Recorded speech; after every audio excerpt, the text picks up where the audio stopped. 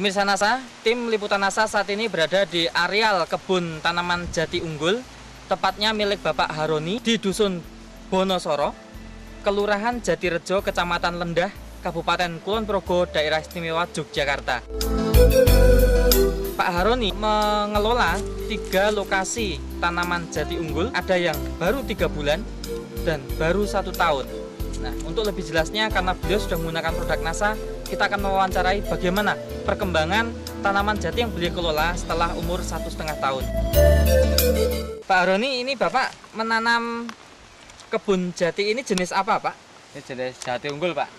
Kemudian luas yang Bapak kelola total dari yang umur 3 bulan, Oh. 10 bulan. Ya, itu dua setengah hektar Pak. Yang khusus di sini berapa Pak? Yang ada di sini khusus di sini satu hektar. Jatinya jati unggul ya? Ya, jati unggul. Beli benihnya di mana dulu Pak? Dari perhutani Pak. Pak Haroni juga melakukan pembibitan sendiri Pak ya? Oh, iya. ah, Jadi ya, mulai ah, beli benih, dibibitkan sendiri, baru Iya. ditanam dan dikelola sendiri ya. Iya. ah. Dalam satu hektar kira-kira populasi tanamannya berapa Pak? Kira-kira ada 1333 Tanaman Pak ya? tanaman ya, ya tanaman. Sudah menggunakan produk NASA semua Pak? Ya sudah Pak. Dulu Bapak kenal NASA ini dari siapa Pak? Ya saya dulu kenal produk NASA dari Mbak Kamsiatin. Jenis produk apa saja Pak yang dipakai Pak? Saya pakai pupuk NASA, ya pupuk NASA, kemudian hormonik. Ini yang satunya lagi eh, Super NASA.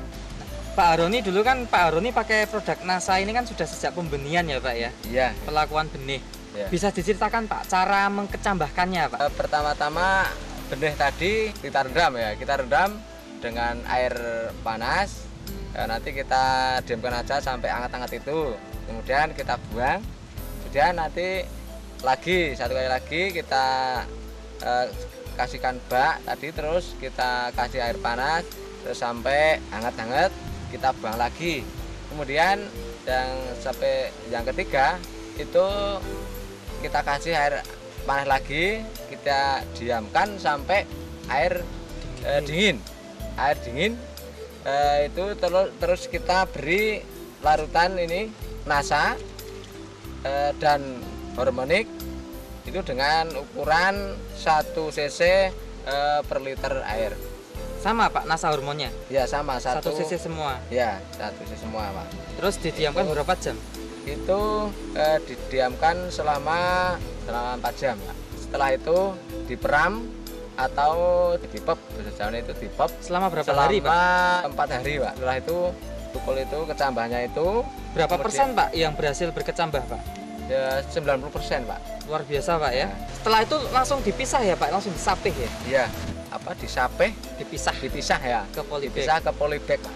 kita dipisah ke polybag Ya, itu di polybag itu eh, kira-kira eh, enam bulan baru siap ditanam Baik. Nah, kemudian Pak, mungkin Bapak pernah pengalaman Pak ya dalam polybag itu yang digunakan campuran apa Pak tanahnya Pak? polybag itu menggunakan tanah dicampur dengan pupuk kandang pak Komposisinya berapa banding berapa?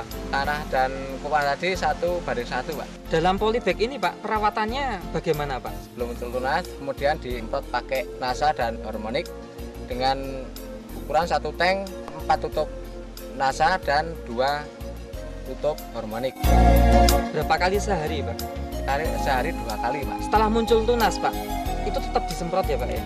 ya Takarannya berapa Pak? empat tutup ini nasa dan dua tutup botol hormonik itu tadi sama dengan yang Sama ya. Nah, Tetapi jarak semprotnya berapa hari sekali setelah muncul tunas itu Pak? seminggu sekali pak Itu berjalan sampai siap tanam Pak ya? ya Kira-kira berapa bulan Pak siap tanam ini Pak? siap tanam enam bulan. Saat pindah tanam ya Pak ya?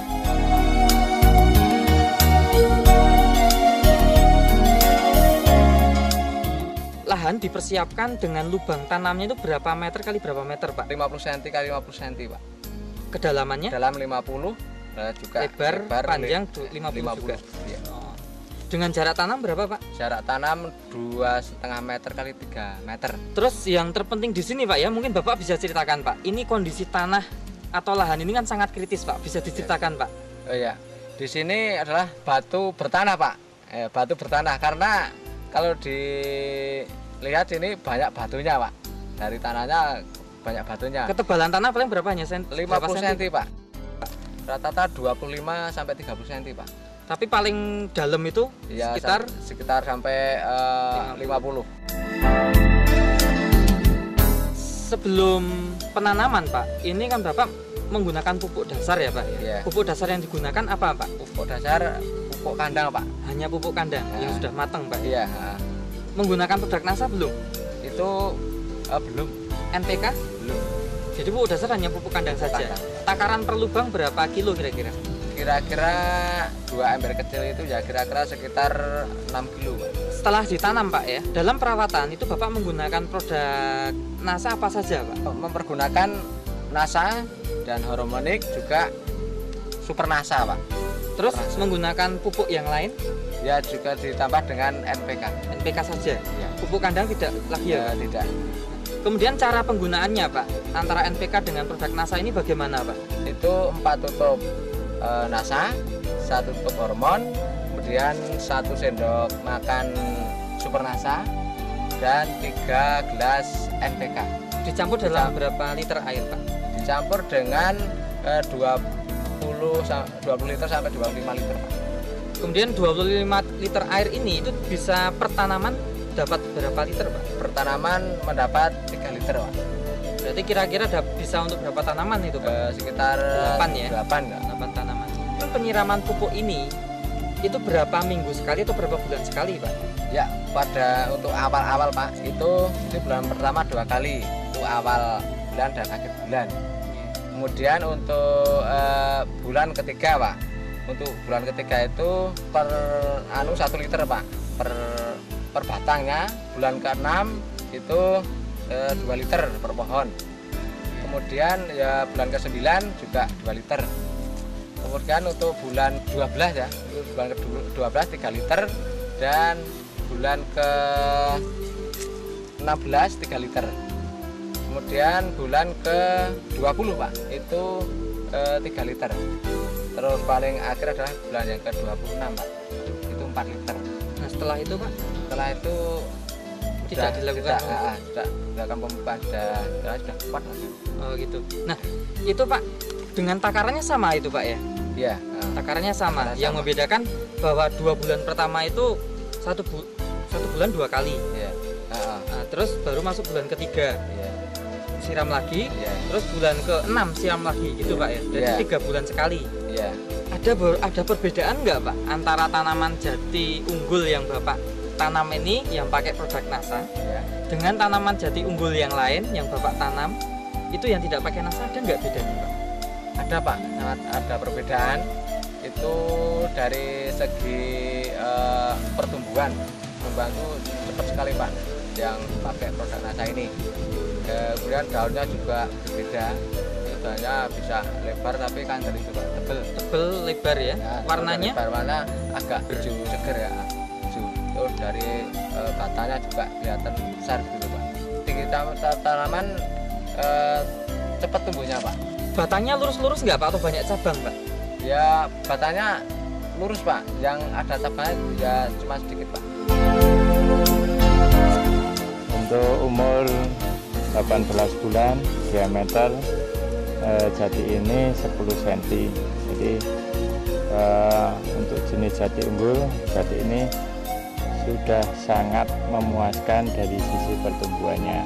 Kemudian diameter batang ini hanya kurang lebih 6 6 cm. Untuk tanahnya bagaimana Pak? Yang disiram hampir tiap bulan ini disiram NASA ada perbedaan nggak antara tanah yang disiram dengan yang tidak? Eh, berbeda sekali pak, karena dengan ini eh, pakai larutan tadi eh, NASA, tadi eh, tanah kelihatan gembur pak, gembur. Jadi eh, dengan yang tidak pakai NASA, yang mungkin sekitar sekitar sini itu sangat berbeda kelihatannya pak. Dan kita juga bisa melihat tanah yang tidak pakai super NASA kelihatan retak-retak dan kurang gembur. Dari segi kesehatan tanaman, Pak, ada nggak gangguan hama penyakit dibandingkan yang tidak pakai NASA ada bedanya nggak, Pak? Gangguan hama penyakitnya. Agak sedikit dari segi penyakit-penyakit yang ada pak. Kalau yang pakai NASA, Pakai Pak, NASA itu kelihatannya daunnya seger-seger, seger-seger dan kerontokan itu enggak anu pak, enggak tidak mudah rontok tidak ya. mudah rontok ya, ah, tidak mudah rontok. untuk daunnya Lebih kokoh. biar biarpun pada saat sekarang itu musimnya musim kemarau itu daun masih ada Yang terjadi di sini Pak musim kemarau tanaman jati yang lain itu sudah sama agak rontoknya daunnya kayak kita lihat eh, ada yang itu garing ada yang ulan-ulan itu pak ulen-ulen atau garing. Nah, Itu yang tidak pakai nasa. Kan kita kedatangan tamu yang beliau adalah seorang ahli. Mungkin beliau bisa membantu menganalisa tanaman jati yang pakai nasa ini. Beliau adalah Bapak Insinyur Joko Triyono. Dia sudah berpengalaman di bidang pembibitan dan perkayuan dan beliau sekarang mendirikan sebuah usaha sendiri dalam sebuah bentuk PT Akindo Purna Pratama. Jadi PT Akindo Purna Pratama ini bergerak di bidang pembibitan dan beliau adalah selaku eh, pengelolanya. Dan sebelum beliau mendirikan PT sendiri beliau sudah sangat berpengalaman di beberapa perusahaan perkebunan atau tanaman keras lainnya. Di antara lain di Barito Pasifik kemudian di PT Indah Kiat dan juga PT Persero Inhutani 5 nah tentunya beliau sangat berpengalaman dan sangat kapabel untuk bisa menjelaskan menganalisa tanaman jati yang meng- menggunakan nasa ini selamat siang Pak Joko Eh, selamat siang. Pak Joko terima kasih atas kehadirannya Pak Joko ya Pak Joko melihat tanaman jati yang pakai NASA ini Pak, yang dikelola oleh Pak Haruni ini Pak. Apa yang tersirat dalam benak Bapak melihat pintas tanaman ini Pak? Bisa diceritakan secara lengkap Pak? Kami akan memberikan penilaian secara objektif dengan kondisi yang ada saat ini. Eh, melihat kondisi yang saat ini, eh, beda nyata antara tanaman yang diusahakan secara eh, teknologi yang baik dengan eh, secara tradisional ternyata memberikan perbedaan yang cukup signifikan. Khusus untuk jati yang ada pada saat ini, kami akan memberikan semacam ulasan bahwa kondisi pada umur 18 bulan untuk tanaman Pak Harun ini sangat bagus. Dari besaran kayu maupun tinggi tanaman, diameternya bagaimana Pak ya?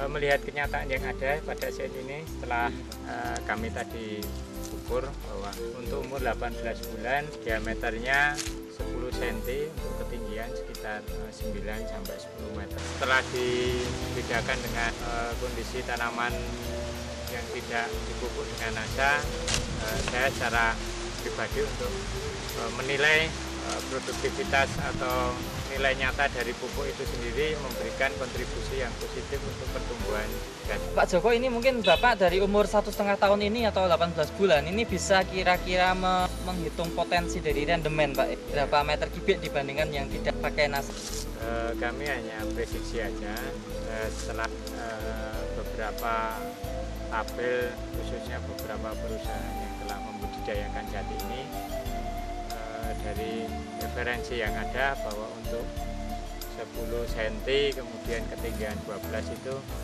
publikasinya antara 0,049 meter kubik. Eh, khusus untuk yang tidak pakai NASA tadi sudah kita ukur seperti di perkebunan diameter umur 18 ba- bulan itu diameternya 5 cm dengan ketinggian hanya 5 meter itu eh, hanya rendemannya 0,006 meter kubik jadi ada selisih sekitar 5,5 5,719 meter kubik. Mungkin saat ini memang eh, sangat diharapkan dari semua petani khususnya jati tanaman kelas dalam mensikapi sertifikasi kayu eh, dengan pupuk-pupuk yang tanpa kimia itu dampak eh, kimianya akan lebih kecil sehingga diharapkan jadi polusi lingkungannya akan lebih minimal. Oh, jadi dalam transaksi atau jual beli kayu ini juga bisa dilihat Pak kadar kandungan-kandungan unsur kimianya juga bisa dilihat ya Pak ya? itu justru yang saat ini sedang ditempuh eh, oleh pemasok maupun penerima kayu karena kalau memang diusahakan dengan sistem penggunaan pupuk yang ramah lingkungan seperti NASA akan bisa bersaing secara global tidak hanya di pasaran lokal tapi di luar negeri karena saat ini eh, ISO 9000 yang diikuti mungkin 14000 dan seterusnya menuntut bahwa semua hal yang berkaitan dengan sistem perkebunan ataupun sistem pertanian menggunakan produk-produk yang ramah lingkungan dan Seperti tidak NASA ini. Eh, tidak ada kimiawi yang berbahaya untuk lingkungan. Baik, terima kasih atas Ya, penilaian dan evaluasinya Pak Joko ya. Kesan pesan dari Pak Haroni dan mungkin Bapak ada himbauan pada pekebun jati yang lain untuk menggunakan NASA. Silakan Pak. Pemirsa NASA yang terhormat, saya menghimbau kepada bapak-bapak, mungkin semua saja pemirsa yang kami hormati untuk pertanian perkebunan ini sangat cocok sekali produk NASA menggunakan NASA, hormat juga eh, Super NASA itu sangat bagus sekali untuk mempercepat pertumbuhan dan mungkin meningkatkan hasil dan keuntungan bagi Kita. kesejahteraan kita semua. Baik, terima kasih Pak Haroni ya. Terima kasih Pak Pangat Ya. ya. Demikian pesan NASA liputan reporter Joni dan kameramen Adi melaporkan dari Kulon Progo, Yogyakarta. Salam NASA.